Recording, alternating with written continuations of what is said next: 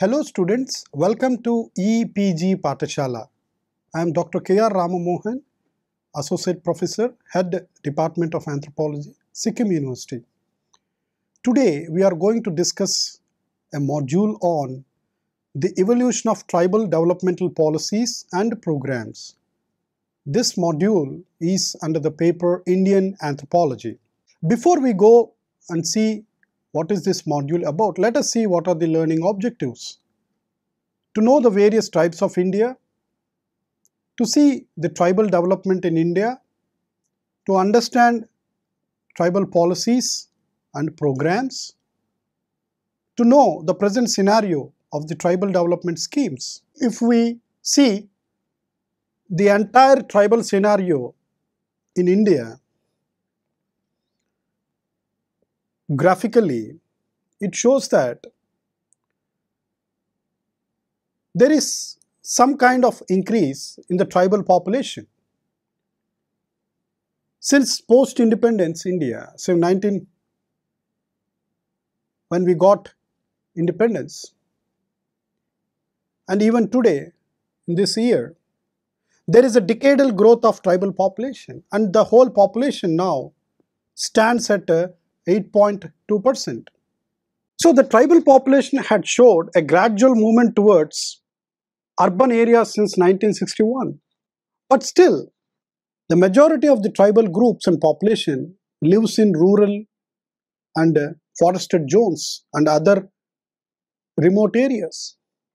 So according to 1961 census, there was only 0.8 of the total population of 30 million tribal population in urban areas. If we look at the entire tribal scenario in the country, Article 366, Clause 25 of the Constitution of India refers to the scheduled tribes specifically for the rights and the privileges.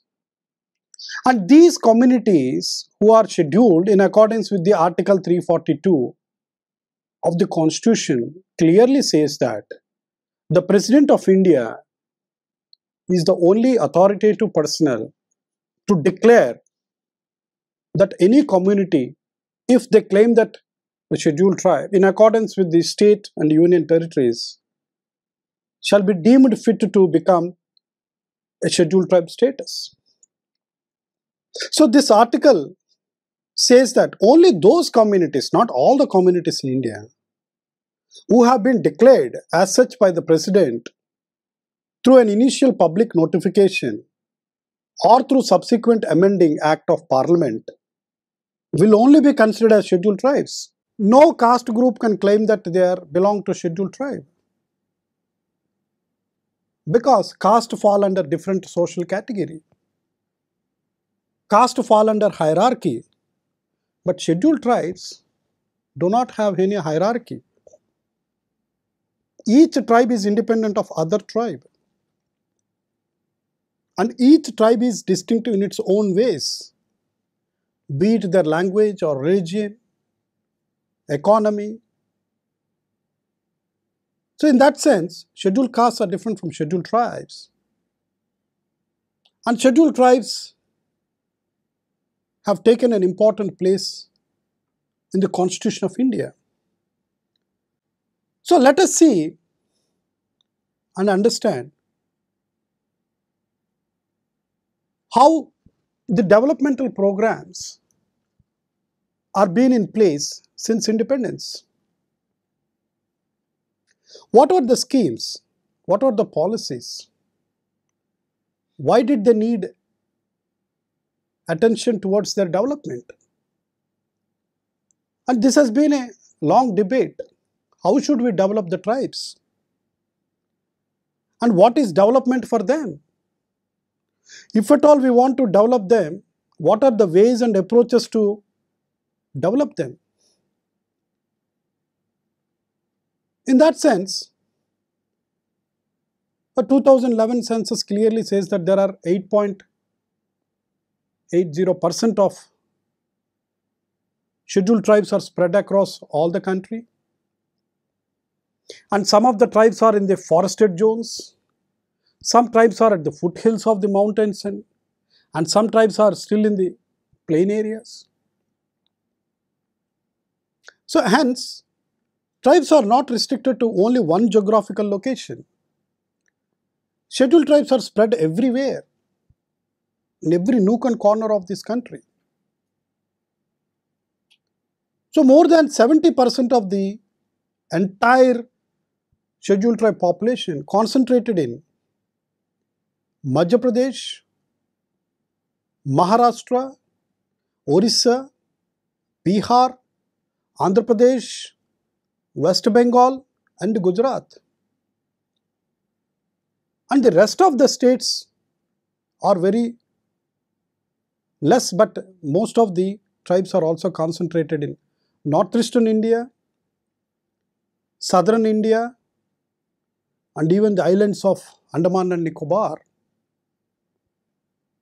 So this stretch of land you can see that scheduled tribes are being pocketed in every place. To reiterate the same point that any social group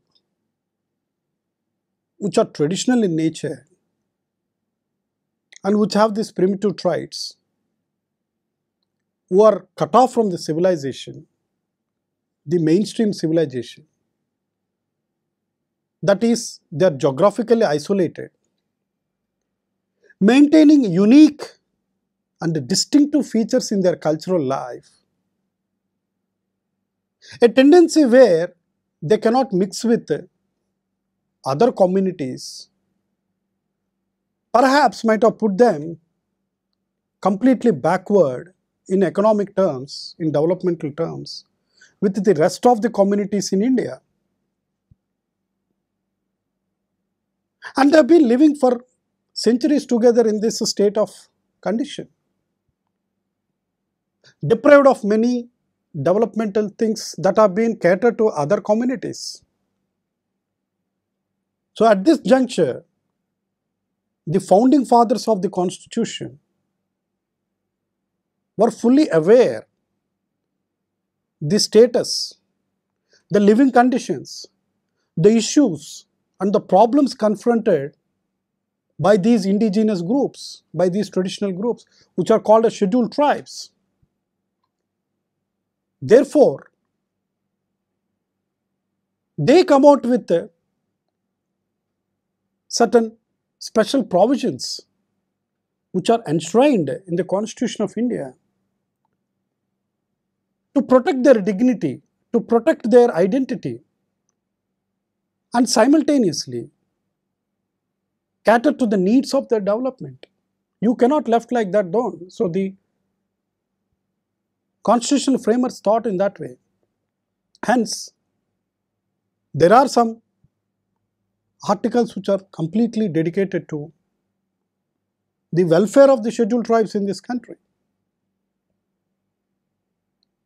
So the main safeguards of provisions include the provision of educational and economic interests, and to protect them, the domination and the exploitation and the social injustice done by the outsiders for these communities. So with that spirit, the constitution provides the special representation and attention to elevate the poverty, to elevate the welfare of the scheduled tribes, both in the Lok Sabha and in the state legislative assemblies till 25th January 2010, where Article 330, 332 and 334 clearly states enjoining the setting up of the separate departments in each and every state and exclusively a national commission at the central level in New Delhi to promote their welfare and safeguard their interests. And this has been enshrined in the articles 164 and 338 of Indian Constitution. So the special provision for administration, that means tribal administration, and to take control of the scheduled areas and tribal areas, which are spelled out in Articles 244 in the both 5th and 6th schedules, and grant a special grant to support the individual state to meet the cost, to give these funds financial support to the various developmental schemes taken by both at the central government and both at the state government, thus promoting the welfare of scheduled tribes so that these scheduled tribes can raise themselves to some extent on par with the other social groups in each and every state. And this granting of financial aid is specifically spelled out in the Article 275 which guarantees that uh, the government will take care of their welfare. So, to effectively deal with the crimes which are meted against these innocent and ignorant communities, there are two special laws which protects the violence from the outsiders or the non-tribals or the atrocities in any form, in any degree, to prevent them, there is the protection of the Civil Rights Act in 1955 and the prevention of crime and atrocities on scheduled tribes and scheduled castes. Prevention of Atrocities Act in 1889 were enacted and have been in place. Anyone who violates and who creates violence to these people were severely punished.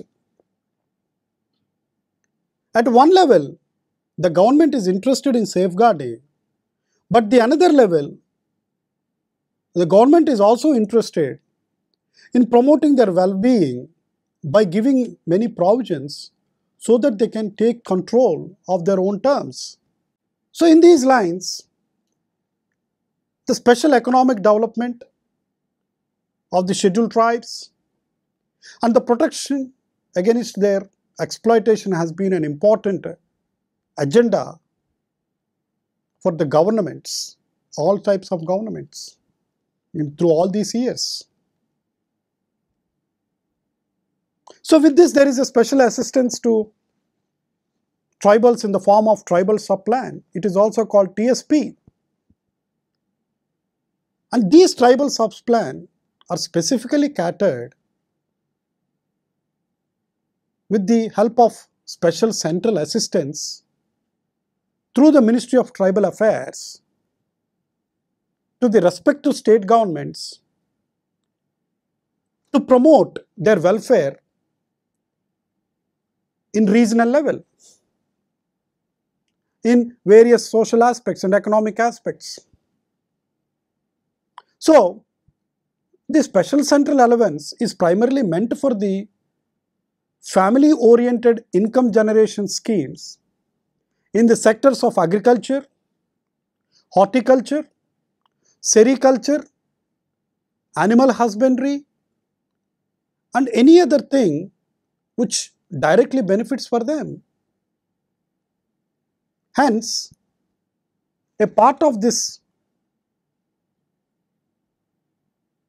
special central assistance, which should not exceed 30% of the income, is also permitted to be used for the development of infrastructure and any other activities which promote income generation for these tribes to stand on their own, to take control on their own. So that by avoiding dependency and waiting for a change, the special central assistance, which is catered to the needs for the development of scheduled tribes, is specifically seen in, in context with to promote welfare for all these deprived scheduled tribes. So, special central assistance is intended to be an addition to the state plan efforts. In that sense, every state has certain plans and programs and policies for the development of scheduled tribes. But this is an additional grant which is given by the central government to supplement, to augur the tribal developmental programs in each and every state.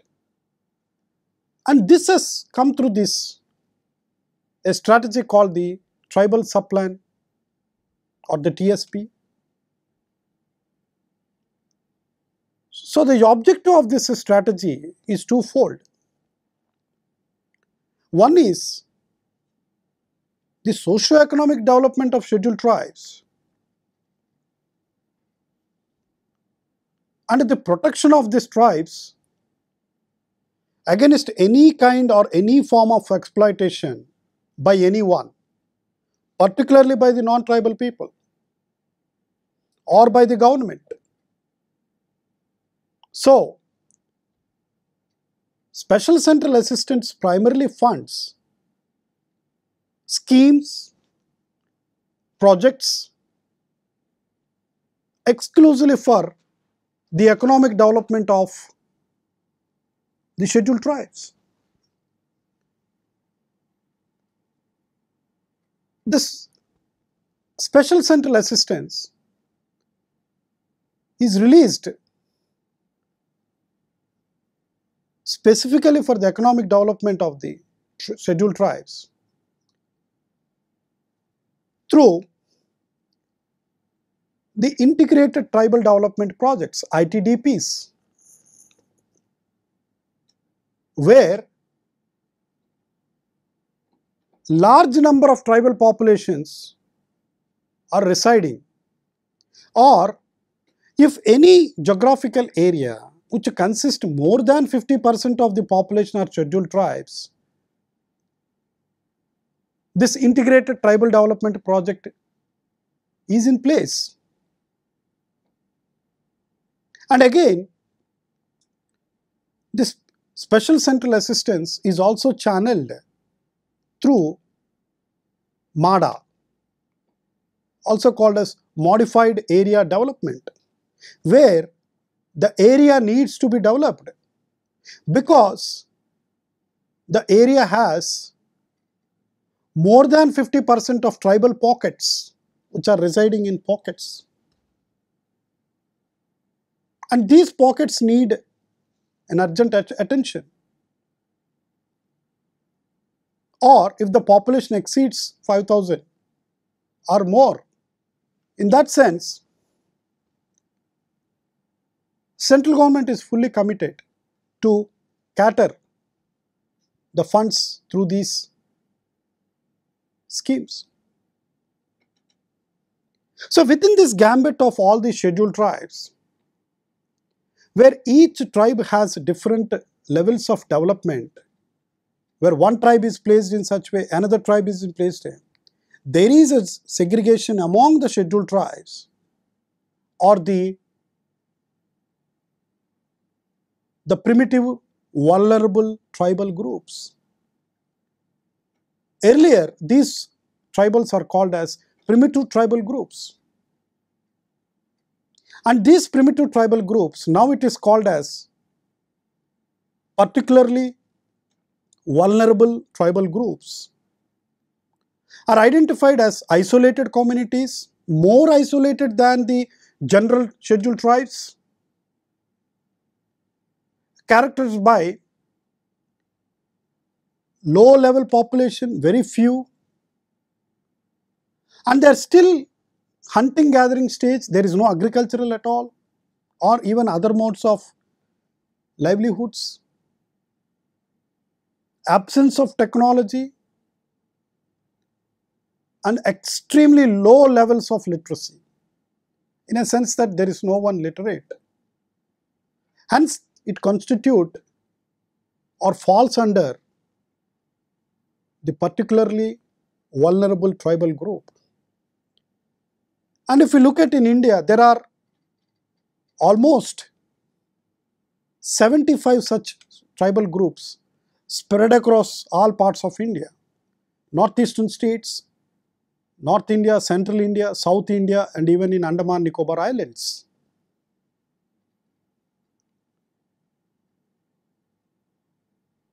Now, due to the historical process of time, some scheduled tribes are being displaced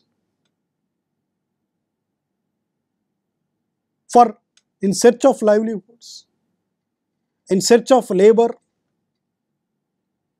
in search of drought conditions, we can see there is lot of displacement. Or that particular tribal area might have displaced due to construction of a dam or a project or been evacuated for some kind of a natural resource. So, for these kind of people, there are certain provisions. The assistance for margin money for loan programs,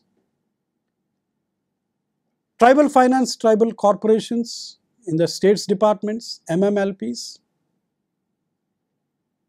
And again, there are specific projects which caters to the specific proposals which state governments proposes and have been sanctioned. So within these tribal development programs, we need to understand a special program called Large Scale Agricultural Multipurpose Societies or called LAMPS. So large scale agricultural multipurpose societies or LAMPS were organized for the first time way back in December 1971 on the recommendations of by the BAWA team appointed by the government of India to look into the credit problems in most of the tribal areas. So according to its framed objectives, these societies are expected to provide all types of credit including consumption credit through single window, the intensification and modernization of agriculture with appropriate technical guidance and improving the marketing and agricultural forest produce which most of the tribes are in the process of producing with the settled agriculture, with their artisan techniques, with their skills. So LAMPS are being catered to look after particularly the assistance of or supporting finance. So these are managed by a board of directors comprising 11 members, which includes 5 directors from tribal members, 2 from any other non-tribal members, and 2 from the nominated by the registrar of cooperatives. To look into the or there should be some composition of all members for the smooth functioning to cater to the economic needs of the tribal societies. So these LAMPS are very useful because tribal societies have different kinds of economic pursuits. Some produce, some collect, some harvest. And when these have these products, how do they market these things? How do they promote these kinds of activities? So in that sense, these multi-purpose societies are catered to look after these economic pursuits. Similarly, equal important project is the Integrated Tribal Development Program, which is there in most of the scheduled tribe areas. As tribals are the integral part of this forest ecosystem and their economy is centered around the forest resources, almost all the tribal villages are mostly enclosures located within these forest resources or forest areas. So in order to improve the productivity of the forests, which are very close or almost in the tribal settlements, so different departments of ITDP are there to look, monitor these activities. So the first one is the buffer zone activities. In this, it consists of income generation activities called IGA and the community development works called CW. So, through CW infrastructure, the development of the village, such as providing safe drinking water supply, infrastructure like laying the roads and other necessities for a better living. So, through the income generative activities IGA and the, with the help of self-help groups SHGs, individuals will be given loan to take up different forms of self-help employment so that they need not to wait for jobs. They can control their own income by taking this financial support from these institutions. In a way, so it reduces poverty levels. Income is generated in their own way, in their own level. With this, they also formed the Village Forest Council, also called VFCs. It is there in every village. So the microplan gives the details of the village and adjoining forest to map the resources, where is what, how, where is it situated.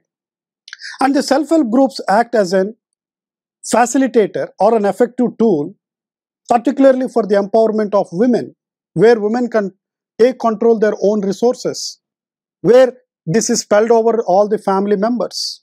So this microcredit system is in place to see that women can generate money by taking loans and by starting up of some small kind of petty business activities.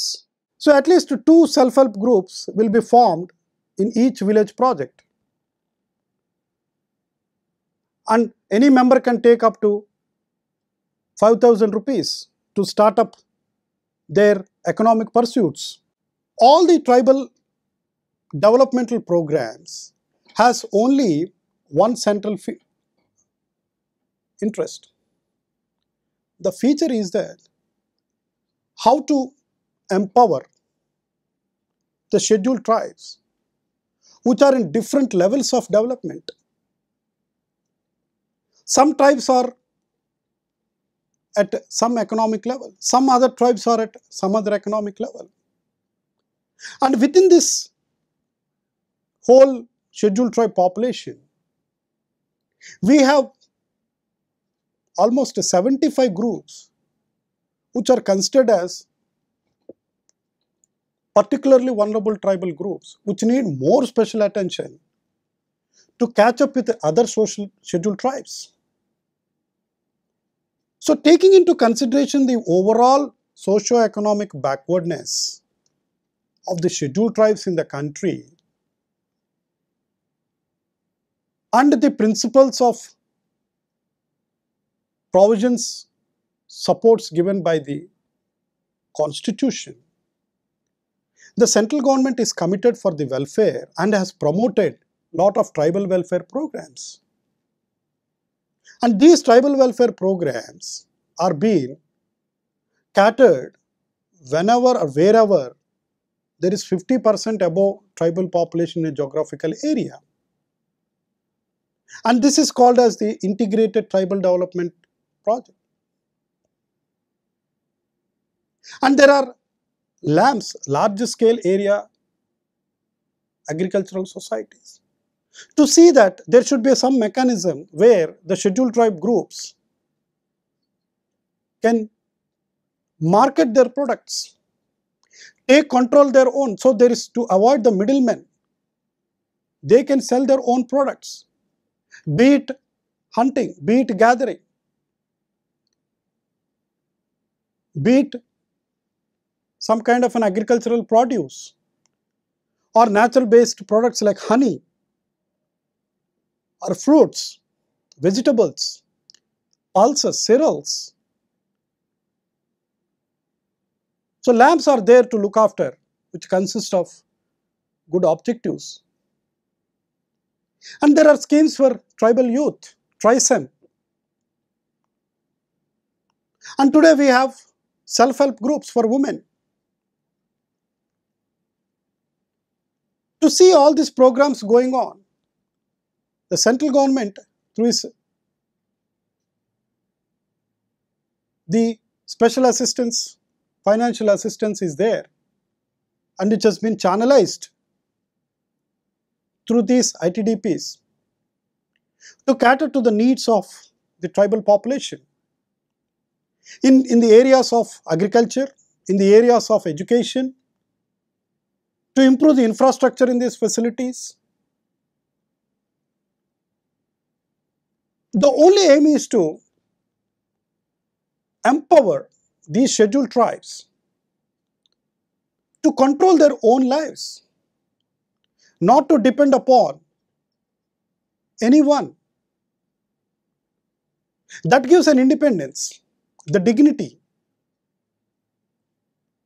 and so that they can improve an individual well-being and the overall well-being of the society in a more sustainable way by not disturbing their traditional economies.